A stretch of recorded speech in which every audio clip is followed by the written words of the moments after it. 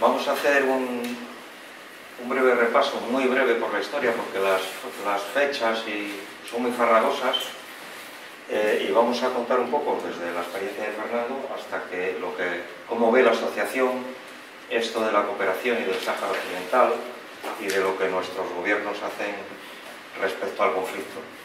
Pero vamos a empezar, vamos a, a dar simplemente unos datos. Eh, el pueblo saharaui está en el territorio desde la prehistoria. Y realmente podemos dar fe, porque algunos de los que estamos hoy aquí hemos podido viajar a, territorio liberado, no toda la gente que va a los campamentos tiene la posibilidad de viajar a territorio liberado, pero sí Fernando por su, porque se ha estado documentando para los muchos, varios libros que ha escrito, o nosotros como asociación que también con proyectos de intercambio cultural juvenil, etcétera, hemos estado varias veces en territorio liberado y hemos podido ver las pinturas rupestres en, una zona de, territorio liberado del Sáhara Occidental, dentro del territorio del Sáhara Occidental, eh, con pena también de ver cómo algunas de las pinturas habían sido grafiteadas por algún casco azul, con lo cual queda mucha duda de lo que pintan en el territorio, porque no velan por, eh, por los derechos humanos eh, pues para pintar pintura una cosa que es desde la prehistoria, pues mejor que no vaya. Bueno, en 1884 hay aquí un pequeño cuadro.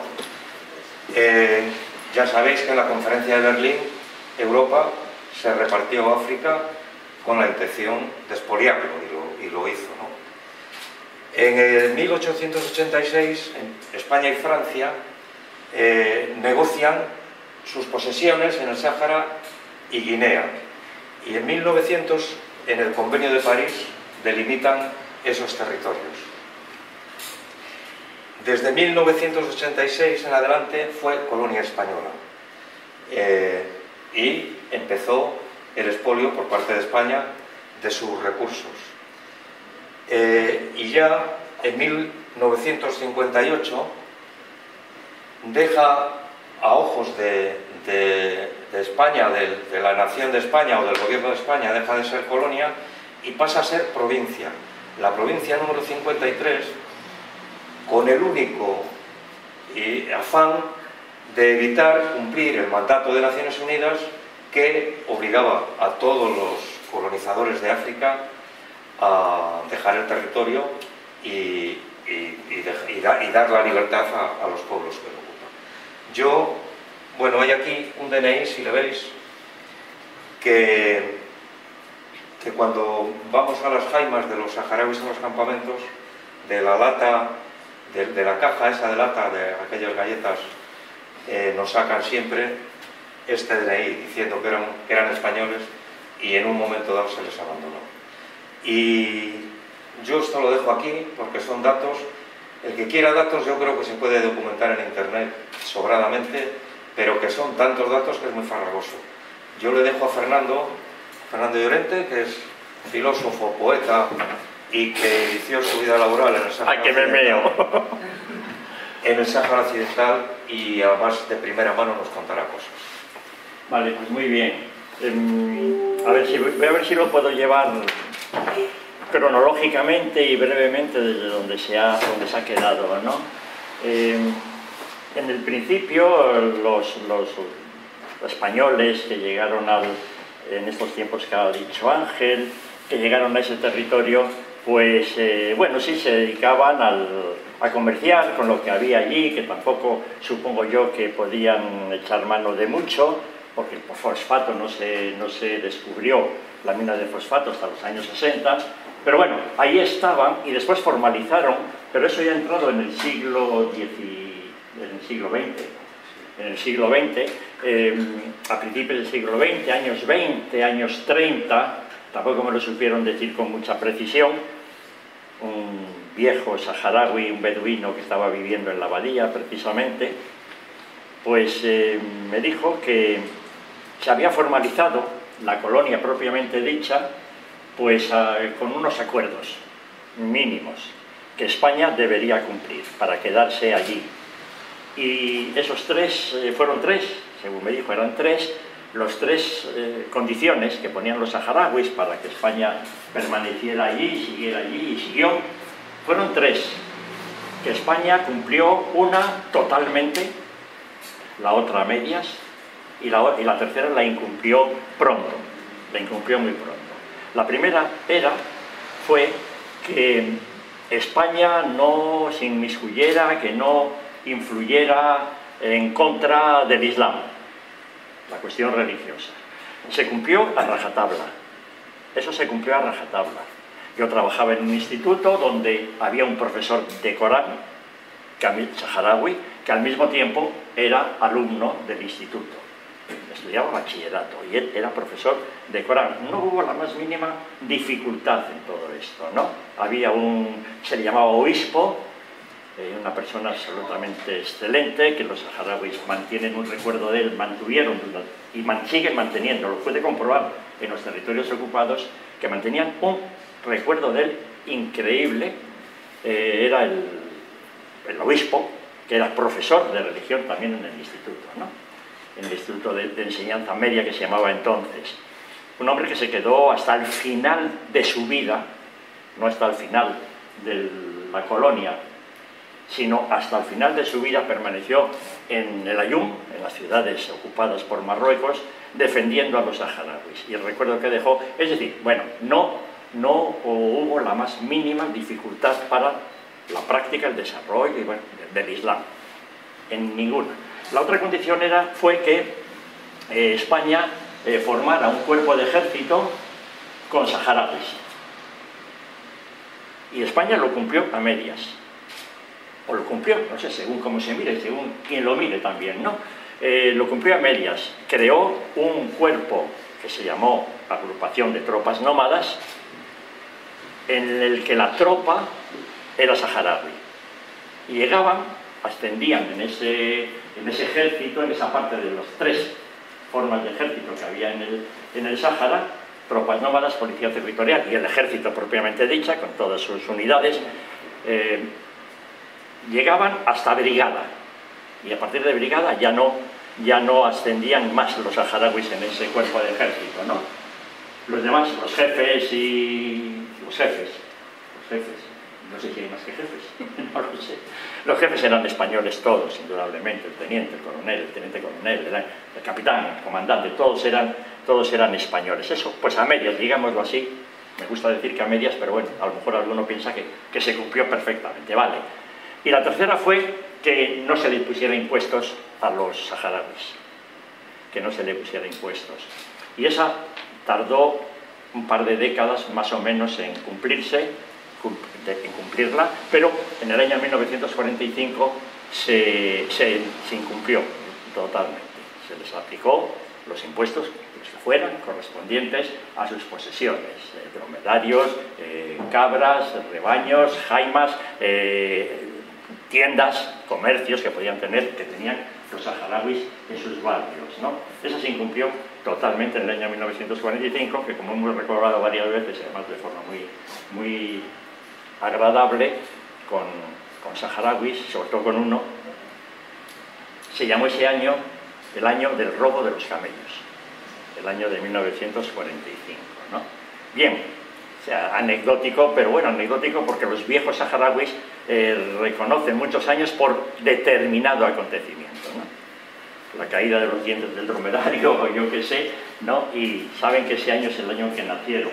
De tal manera que muchos de los viejos saharauis que no sé cuántos puedan quedar ya, mm, no saben la edad que tienen. Si llegan, si llegan, a mucha edad, realmente no saben, no saben exactamente qué edad, qué edad pueden tener en esos momentos, ¿verdad? Bien, eso hasta ahí. Eso mm, llega a 1958, eh, ya la ONU había, había, como ha dicho Ángel, ¿eh?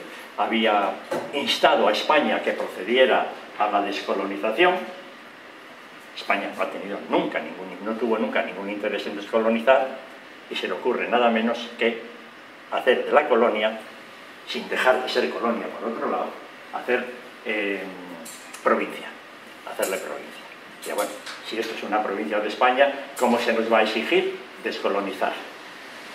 que no es una colonia, es una provincia. Es como si nos dicen, descolonice usted Guadalajara. Pues Guadalajara no se puede descolonizar, que es una provincia de España, pues esta tampoco, esta tampoco. Eso eh, fue un engaño a los saharauis, que como ha dicho Ángel, pues poco menos que les entusiasmo y siguen entusiasmados con ese asunto siguen entusiasmados con ese asunto, ¿verdad? Porque conservan, conservan sus, eh, documentos, el de identidad que ha partido por ahí, el libro de familia, el contrato de trabajo con las empresas constructoras que, había, que fueron trabajando en, los, en las ciudades, en el territorio del Sáhara Occidental, ¿verdad? sobre todo en las ciudades, porque carreteras tampoco que existieran muchas en las ciudades. Bien, mm, ¿eso para qué ha servido? esa documentación para qué ha servido. Bueno, para algunos les ha servido mmm, para, con el tiempo, a los descendientes que habían nacido en esa época, en el territorio del Sáhara Occidental, siendo colonia española, eh, adquirir la nacionalidad española. A algunos. A otros absolutamente para nada. Absolutamente para nada. Para nada. Bien, por, razones administrativas o burocráticas que se me escapan un poco, pero bueno, que para nada, que para nada. Bien, bueno, pues a partir de ahí, eh, en los años 60, se descubre la mina de fosfatos. Una mina riquísima de fosfatos como para competir con los dos productores de fosfatos más grandes del mundo, que eran Estados Unidos y Marruecos, precisamente, los dos. Eh, se descubre aquello y se empieza a explotar, y España lo empieza a explotar. Pero a explotarlo mmm, en precario, es decir, no podía hacer competencia o no quería hacer competencia a las producciones de Estados Unidos y de Marruecos. Y producía un porcentaje muy pequeño en relación con lo que podía haberse explotado aquello, que se sigue exportando hoy día, claro, naturalmente. Una mina muy sencilla de, de trabajar, sin galerías, a, a, a, cielo abierto, a cielo abierto, muy, muy fácil de trabajar, no había que hundirse en el centro de la tierra, sino en superficie. Y España construyó, nunca, nunca, nunca si dijeron, yo ya estaba allí, no, después, pero después la visité, no, yo en esa época todavía no estaba allí, poco después sí, poco después sí, pero en, esa, en el momento del descubrimiento de las, de las minas de fosfatos no. Poco después eh, en ese momento se, se, construyó España, construyó, no sé si está bien decir construyó, una cinta transportadora de 100 kilómetros, que llegaba desde la boca de la mina hasta alta porque no había puerto en el Ayun, no había puerto. Era cabeza playa, era la playa y los, los buques eh, que lo transportaban quedaban, por ejemplo, a mí que me transportaron también, lo había en, en alta mar. Y la cinta llegaba hasta donde podían llegar los buques que iban a cargar el fosfato para, para sacarlo de allí, ¿no? Bien, 100 kilómetros de cinta transportadora, que en un momento determinado, ya cuando las cosas se pusieron mal y todo se, se, se, se enconó, pues eh, el Polisario atentó contra esa cinta y, y, le, y, le, produjo, después se reconstruyó porque la mina ha seguido, ha seguido trabajando, ¿no? Claro está, y, y sigue trabajando. Los trabajadores de la mina eran básicamente saharauis, no tantos, y canarios fundamentalmente, fundamentalmente. Y los dirigentes de la, de la mina pues eran peninsulares y el gobierno, y el gobierno de España, ¿no? Bien, nunca supimos, en que lo preguntamos, montaron un campamento minero muy, muy bien, muy estupendo, que visitamos, yo más tarde lo visité más tarde, en realidad formaba parte, formaba parte de un programa turístico, formaba parte de un programa turístico. De Canarias se hacían viajes de un día turísticos, que consistía en ir al Meselle, al oasis, a tomar té en el oasis del Meselle, un sitio encantador, naturalmente, con un saharaui grandote y mayor que cogía el té después de haberse tocado así los pies. Estaba sentado y hacía así con los pies, así con las manos en los pies y cogía el té, pero como se iba a hervir tampoco pasaba, tampoco era tan grave, ¿no?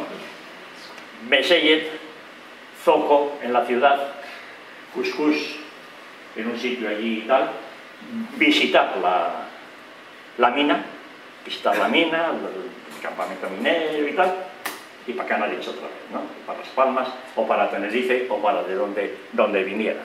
¿no? Pues como los que vienen aquí de, de, Palencia o de a la playa y se van por la tarde, ¿no? Ya, ya está, y ven lo que pueden ver y por la tarde les vuelven otra vez a casa. Pues exactamente, exactamente igual, solo que allí, ¿verdad? Bien, nunca supimos la inversión de España en aquella, en aquella cosa. Lo preguntamos varias veces, unos, otros, gente del instituto y tal. Nadie, nunca supimos la inversión que había hecho España ahí. Bien, eso era a finales de los años 60. 66 creo que fue, o 67. Creo que por ahí, creo que por ahí. No, por ahí fue. En los 60, desde luego, y avanzados los 60. Claro. Bien, entonces ya nos metemos en los 70 nos metemos en los 70 y poco a poco se fue produciendo el principio de lo que sería el fin, o el fin provisional, porque estamos en un fin provisional en estos momentos, no es un fin final, sino que es un fin provisional todavía y veremos a ver qué es lo que pasa. Pero no hemos llegado hasta ahí todavía. Eh, en el año 69 se forma el primer grupo de liberación, el primer movimiento de liberación. Un movimiento de liberación que pretendía, pues, la descolonización decidida por España y por los saharauis. Los saharauis estaban organizados políticamente con una, por una asamblea que se llamaba Yema, de los cuales había representación en las Cortes Españolas. Había representación si se buscan por ahí fotografías de las tropas españolas de esa época, pues aparece saharauis con su barra, con su traje de gala, ahí sentado en un escaño, pues puede estar ahora Pablo, Pablo Este, que le puede venir muy bien el turbante, también por ejemplo, ¿no? le puede quedar muy bien. Estaban allí, formaban parte de, la, de las Cortes Españolas. Bien, eh, las relaciones que se iban a mantener con España fueron empezaron ya a ser malas. Hasta entonces había habido una, o por lo menos, claro, también, tampoco, mejor dicho, nos enterábamos de muchas cosas aún estando allí, como es natural, ¿no? No nos enterábamos de muchas cosas. Ni seguramente todos los soldados que había en el, se enteraban de todo lo que podía estar pasando allí. Solo lo sabía la legión, la legión, la legión sí que lo sabía, eso seguro. Eso con toda seguridad, porque era la que intervenía eh, básicamente normalmente, ¿no? mientras acuartelaban los demás al principio. Se forma ese, ese movimiento de liberación por jóvenes, jovencísimos, eh, saharauis. Ese movimiento de liberación fue encabezado, fue liderado por el que en principio tenía más, eh, más preparación, digámoslo así, ¿no? Tenía más preparación. Había estudiado en Damasco, había estudiado en Rabat, era periodista y algunas cosas más, y le llaman para que lidere el movimiento de liberación del año 69. Se llama Basili. Le llaman y se organiza. Y se organiza. Bien. Una vez organizados, en el año ya 70, el 17 de junio de 1970 exactamente, yo estaba a punto de llegar a la Jung todavía no había llegado, todavía no iba a ir. Fue en septiembre cuando, cuando llegué. Mm, se ponen en contacto con el gobierno, la representación, el gobierno general del Sáhara, con el gobierno general del Sáhara. Un día, el 17 de mayo del 70, en el que el, gobierno general del Sáhara, el gobernador general del Sáhara, y la YEMA, y los representantes de la YEMA, de la Asamblea General Saharaui, eh, están reunidos en Semla, un lugar en las inmediaciones del Ayun, prácticamente en el Ayun. Bien, y el movimiento de Basiri, este movimiento de liberación, eh, se presenta y mandan al gobernador general del Sáhara un escrito, un escrito en el que piden, solicitan del gobierno español, un periodo de tutela de 10 años, de hasta 10 años, en los que el, gobierno, de España les iría preparando para la descolonización, para que, hacerse cargo de su tierra y de sus recursos. Bien, eh, le llega al gobernador general, el gobernador general le, a través de un comandante le manda, le manda la respuesta a los de Basili, a los del movimiento de liberación, les manda la respuesta y la respuesta que, que sí, sí, que sí, que España eh, accederá a, este, a esta petición de, de tutela durante un determinado tiempo para prepararles para la descolonización. Pero de años 70. Mm, dicen que no. No. Los de Basili dicen que no. Que por escrito. Que se lo traigan por escrito. Bien. El, comandante este fue a, la reunión donde estaban con los saharauis, los jefes de tribu, que formaban parte de la Yema, y eh, dice lo que habían pedido los saharauis. Y la respuesta fue un enfrentamiento de venir con coches y con armas, los militares españoles, contra los del movimiento. Y uno de los saharauis tira una piedra y le da a otro comandante, que es el nombre. Y ese comandante dispara y mata a un saharaui. Ya se montó la de Dios es Cristo. Se montó un tinglao que no se sabe realmente, violento naturalmente, no se sabe tal, mm, realmente cuántos muertos pudo haber, no porque hubiera habido muchos, ¿eh? muchos no, no fueron, no debieron de ser muchos, pero no se supo lo que pasó allí, pero se pusieron las cosas tan mal que los militares españoles llamaron a la legión. Y la legión se presentó, siempre estaba dispuesta la legión. Bueno, en realmente para eso estaba allí, porque los demás, para poco. Eh, viene la legión y ya bueno, ya fue el desastre. El desastre. Hubo detenciones en las cuales entre los detenidos estaba Basiri y todos estos jóvenes, entre ellos Barjingali, el actual, el actual presidente de la RAS y secretario general del Frente Polisario. ¿no? Eran muy jóvenes, eran veintipocos años, veintipocos, eran todos muy jóvenes, muy jóvenes. Y los detienen y a los más significativos los destierran. Los destierran por 10 años a guarniciones, a poblaciones, por ejemplo a User. El que me habló de todo esto fue desterrado a User. A User. De los 10 años estuvo dos, además, bueno, con gente, bueno, estaba ahí con su gente.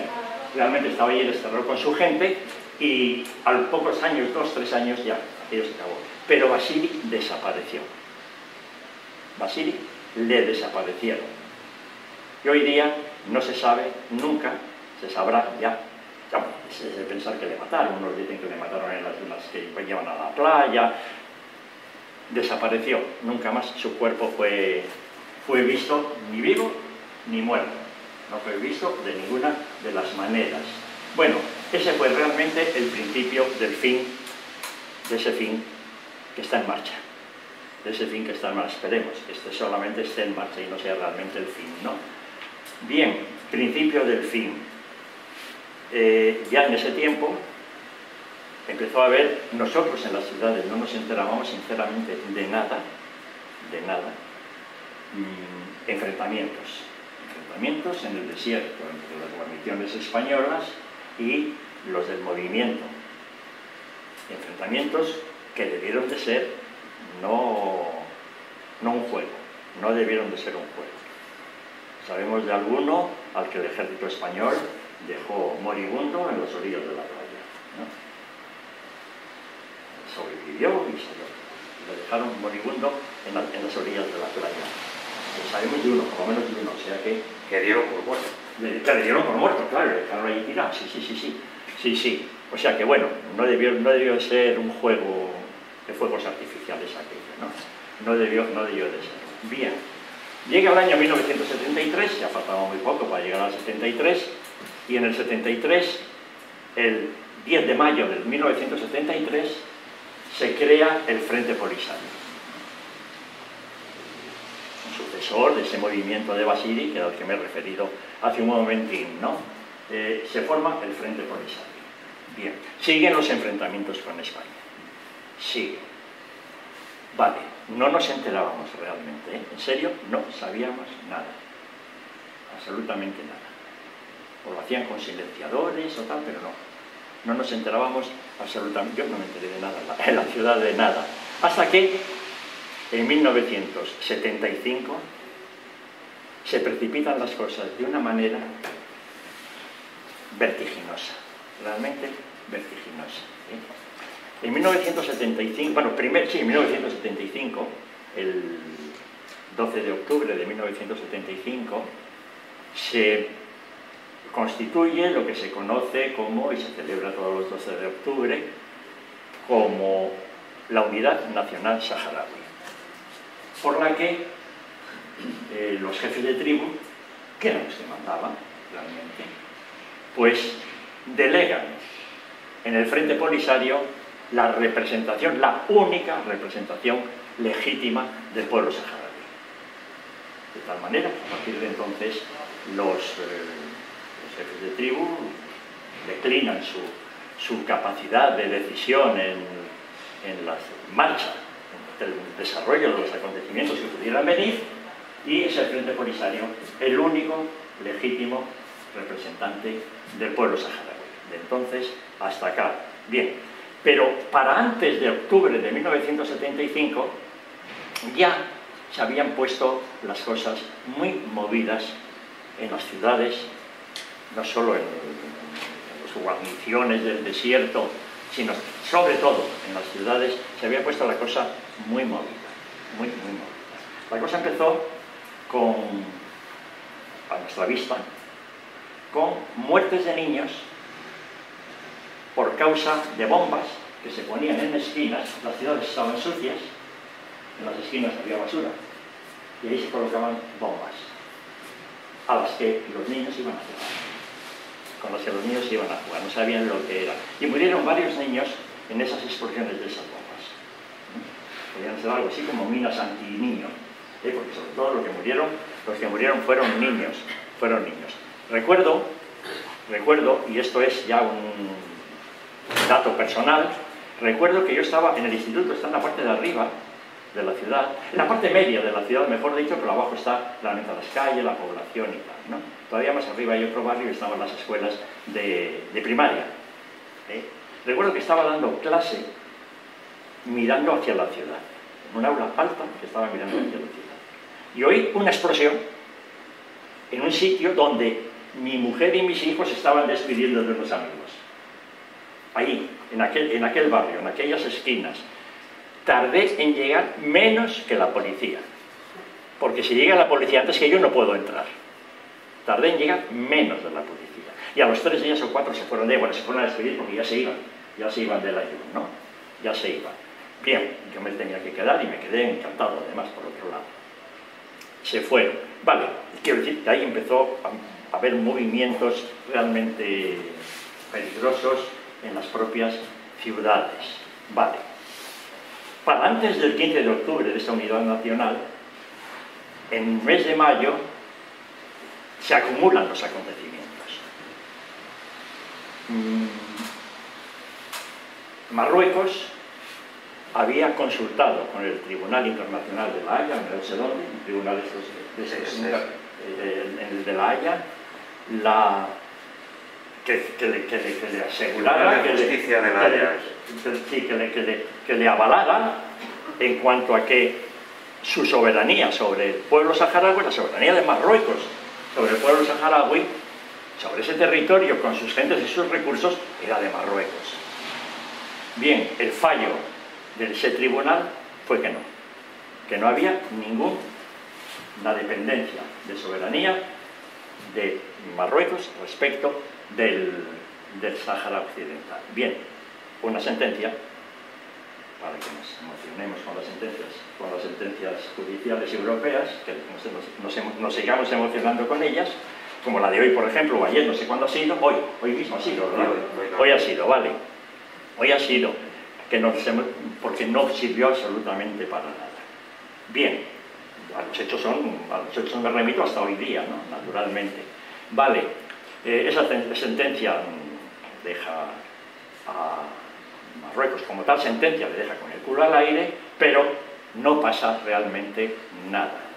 Mm, la ONU, en el mes de mayo de 1975, por eso es que se acumularon muchas cosas en muy pocas, bueno, en muy pocas semanas, iba a decir meses, en muy pocas semanas. Mm, eh, la ONU manda una misión observadora para que informe sobre la voluntad del pueblo saharaui.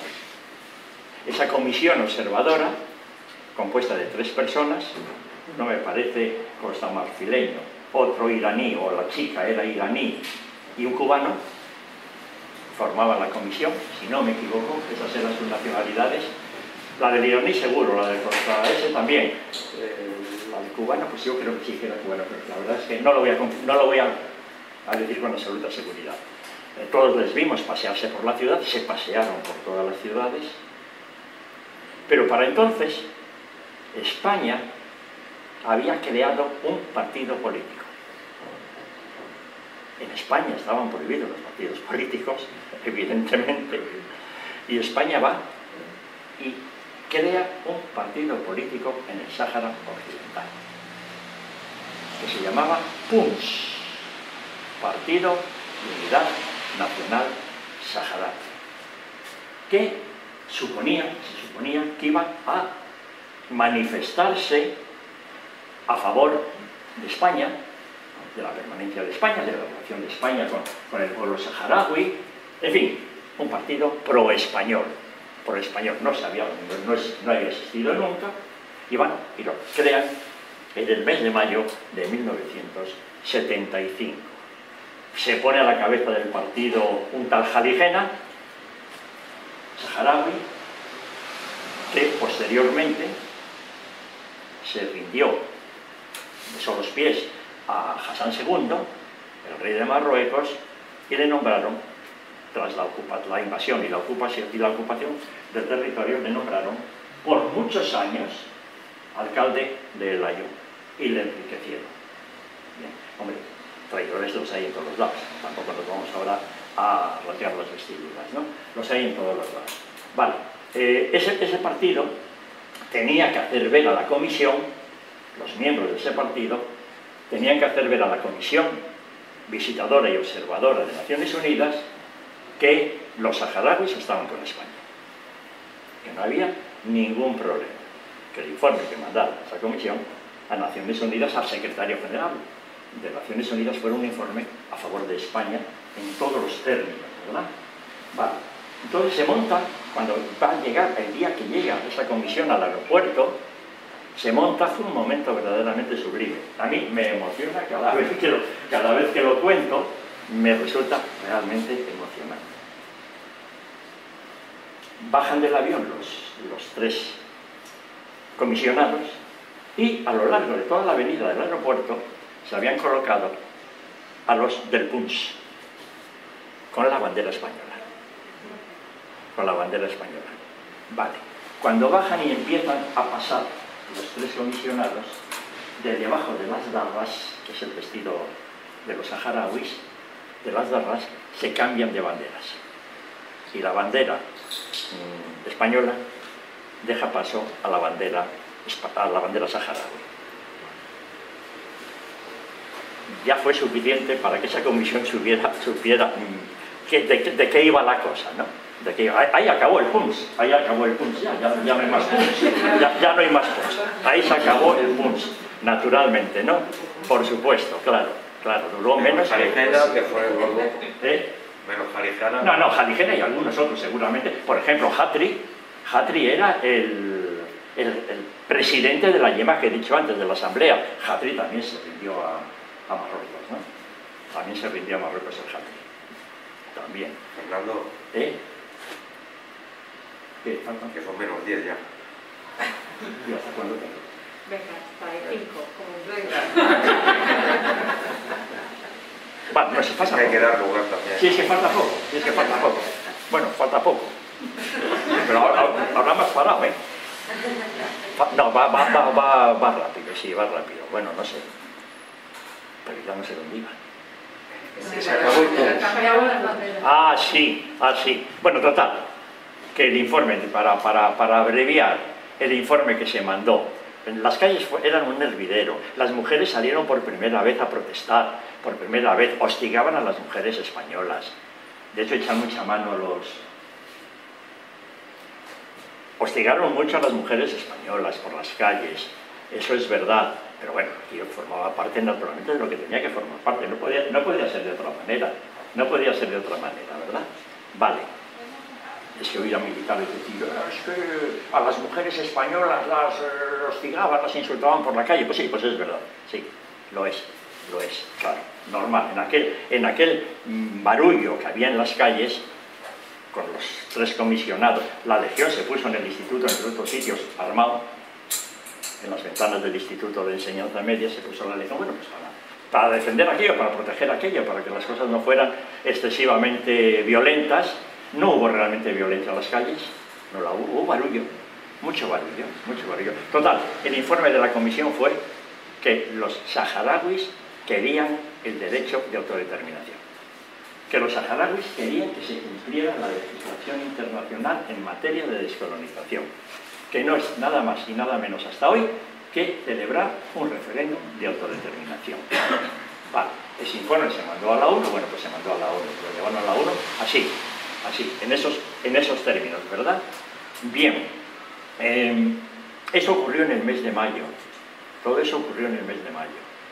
Mm, avanzan las semanas, porque no fue mucho más que las semanas, y en octubre se produce la invasión. El 30 de octubre entran los marroquíes por el norte y los mauritanos por el sur y invaden el territorio. ¿De qué manera? Pues de una manera muy bucólica, mediante lo que todos conoceréis seguramente como Marcha Verde. Hay fotos. Sobre Marcha Verde. Marcha Verde, pues cientos de miles de marroquíes que se quitó del medio el rey y que los mandó para acá con el Corán en una mano y una lata de sardinas o algo así en la otra. Y entraron en el territorio español perdón, marroquí colonizado por eh, saharaui colonizado por España, sin más, tranquilamente. Tan tranquilamente que no encontraron ningún impedimento. Iban, a, iban entre ellos iba, en, en esos miles, cientos de miles, iban gente armada, militares, disfrazados de pastores de ovejas, con armas. Bien, no tuvieron ninguna dificultad, ni que pegar un disparo. Ninguna. ¿Por qué? Pues porque el ejército español, al ejército español, le hicieron pasar mucho ridículo. ¿Quién es el gobierno de España? Claro. ¿Quién concretamente? Juan Carlos. Claro, en concreto, ¿no?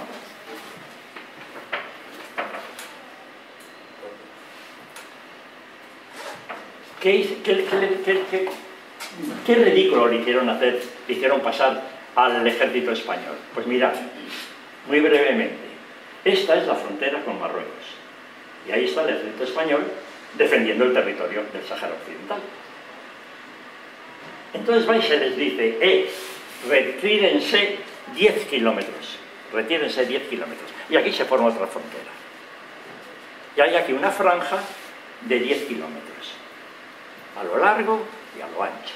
Bueno, a lo largo más, a lo ancho se desalojan las pequeñas guarniciones que había en ese terreno, que constaban pues, de un teniente y unos pocos soldados, en algunos de ellos una escuela y un maestro, y todos se los mandan a las ciudades. Y aquello queda expedito, queda libre, no queda nada. Ahí se entra y se, a casa puesta, a Jaima puesta, se entra allí, ¿no? Realmente. Y así entraron y así entraron, sin la más mínima oposición, sin la más mínima nada. Y el ejército obedeciendo. No podía hacer otra cosa, por otro lado. No puede hacer otra cosa como es natural. Obedeciendo y retrasándose. Y retrasándose esos 10 kilómetros. Libre el terreno. Vale. 20 de octubre de 1975. El 2 de noviembre, es decir, pocos días después, esta marcha no termina hasta el día 6 de noviembre. Ahí se da por concluida la ocupación. Y una invasión en principio pacífica. La violencia, la agresividad, mm, el genocidio, todo lo que queráis poner viene inmediatamente después. Pero hasta ahí no. Hasta ahí no. Ahí no ni un tiro. Ni un solo tiro. A la gente española se le dijo, eh, que pasen esos 10 kilómetros que ahí no hay nada. Ahora, si quieren pasar por encima de ustedes, disparen. Disparen. No hubo opción a disparar porque todos se quedaron allí sentados, ¿verdad? Llegaron allí sentados. Bien. El 6 de noviembre, la invasión comienza el 20 de octubre, termina el 6 de noviembre la llamada Marcha Verde. Bien, el 2 de, noviembre, 2 de noviembre,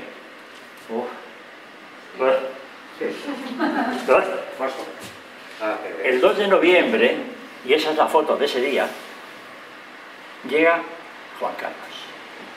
Con, mm, se revistió con poderes de jefe de Estado porque padre todavía vivía. Le faltaba poco, pero todavía vivía. Todavía vivía, ¿vale? Se presenta allí, por la mañana, y se reúne con la cúpula militar y les garantiza el honor del ejército español.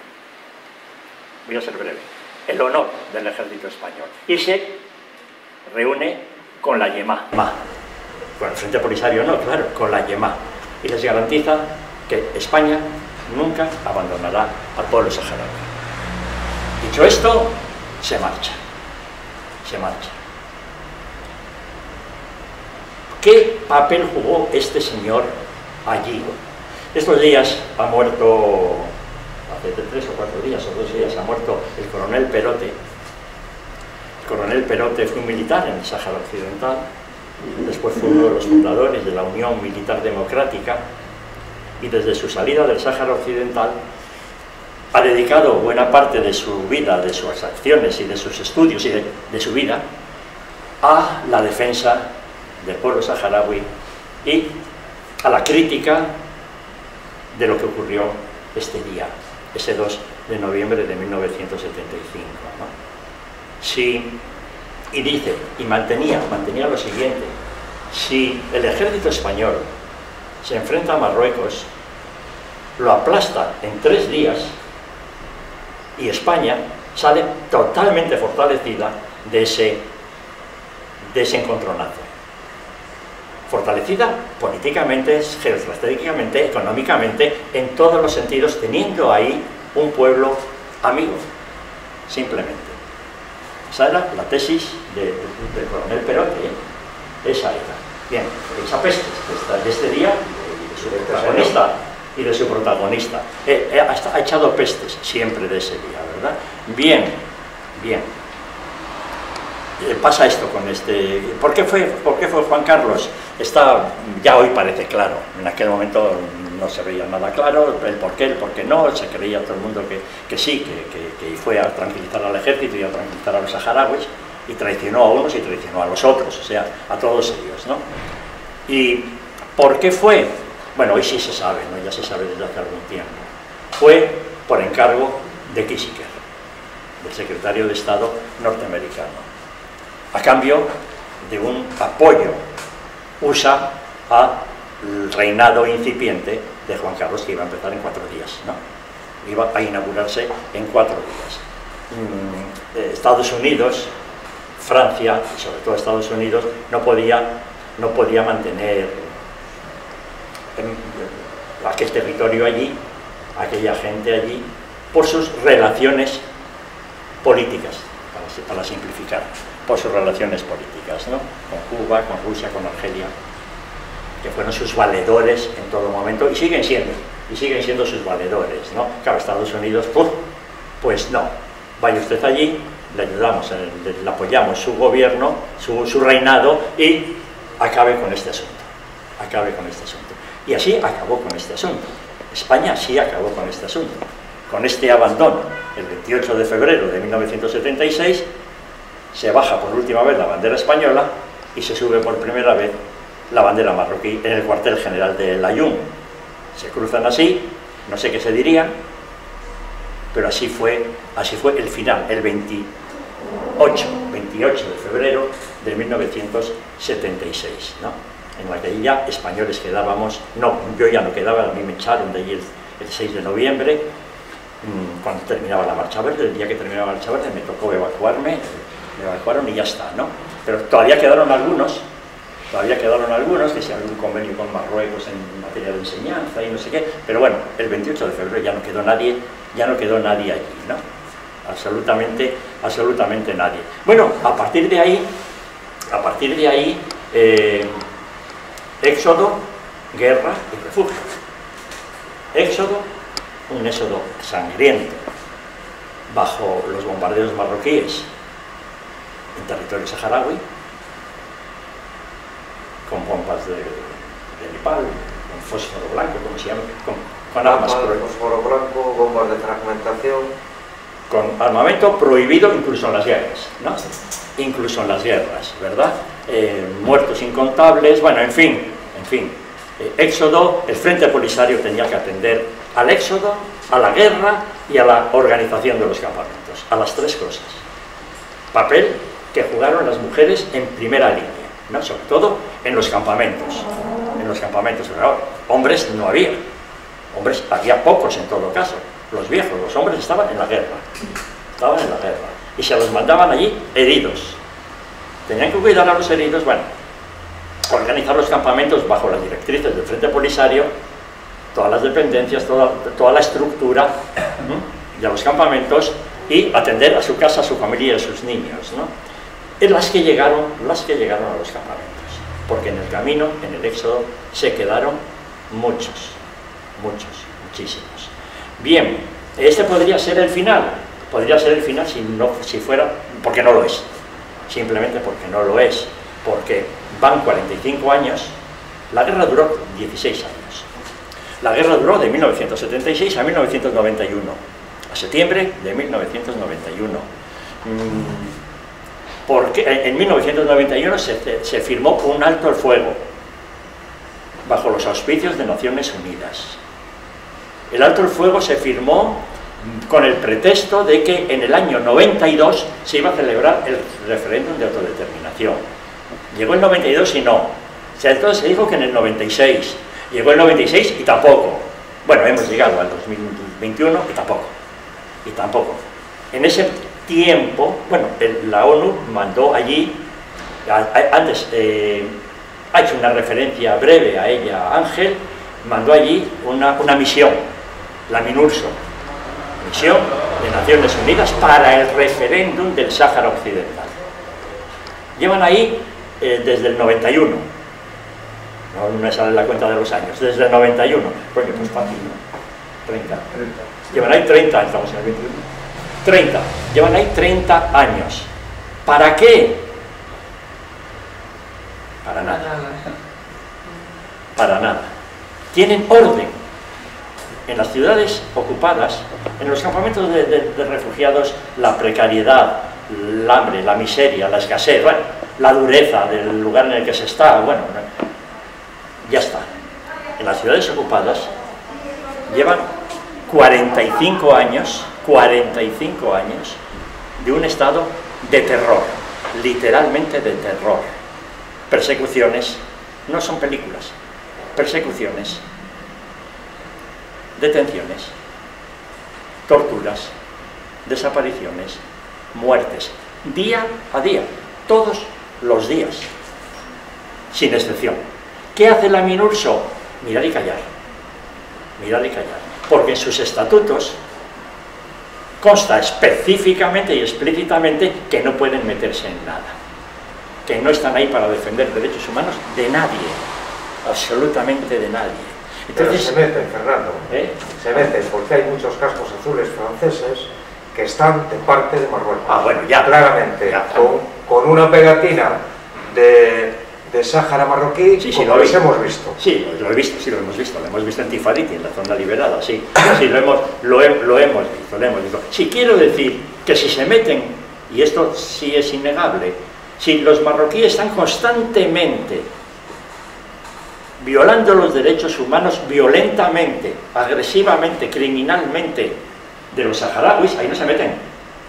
No, no, Ah, en, eso, en, eso, en, eso, no se meten. Es lo, es lo que estaba diciendo. No están defendiendo los derechos humanos de nadie, sino en todo caso, y en ocasiones, por lo contrario, lo que están haciendo es viviendo bastante bien allí, en hoteles y demás. Porque las ciudades, las ciudades ocupadas, Marruecos las ha modernizado muchísimo, ha hecho unas avenidas inmensas, tirando otras edificaciones que había ahí españolas, han levantado unos hoteles de superlujo, de superlujo, tanto en Dakla como en el Ayón hay unos hoteles de superlujo donde se hacen muchos negocios, naturalmente, eh, y, y las, las que fueron nuestras calles, las calles españolas, están convertidas en guetos, prácticamente en guetos para, para los saharauis, tanto en Dakla como, que son las que he visto, las que fui a ver, Dakla como el Ayón, imagínate las otras, Ojador o alguna de estas otras, ¿no? Las dos grandes, pues eh, Esmara no, Esmara no la vi. Mm, están, las, las, las, calles españolas están pues eso,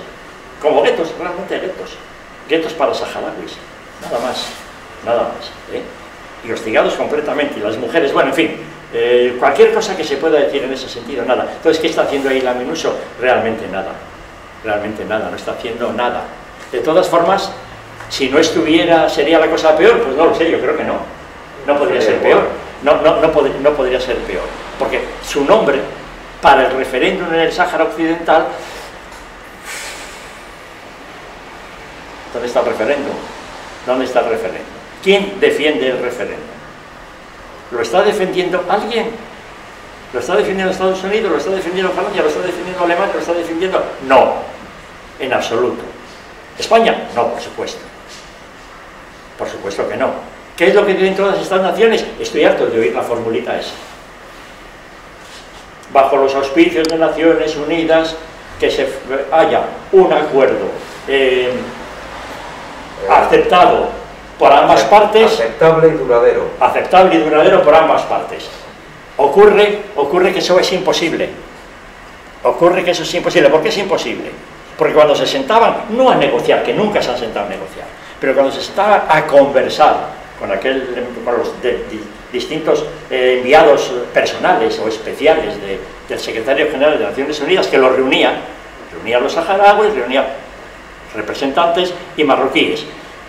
¿Cómo se va a llegar a un acuerdo si lo que propone Marruecos en esas conversaciones es una autonomía tutelada bajo la bandera marroquí? Que no tiene nada que ver con lo que está escrito y prescrito en la legislación internacional y en la Carta de Naciones Unidas, por cierto, que es el referéndum de autodeterminación. ¿Qué es lo que al otro lado de la mesa dicen los saharauis? No, no, de autonomía, nada. Fernando, te faltan cosas. Si es que yo ya he terminado. Muy bien, fenomenal. Sí, sí, sí, sí, sí, es que yo ya he terminado. ¿Qué te crees? Porque te lo he dicho, si no, no termina. Bueno, por lo que sea, pero he terminado.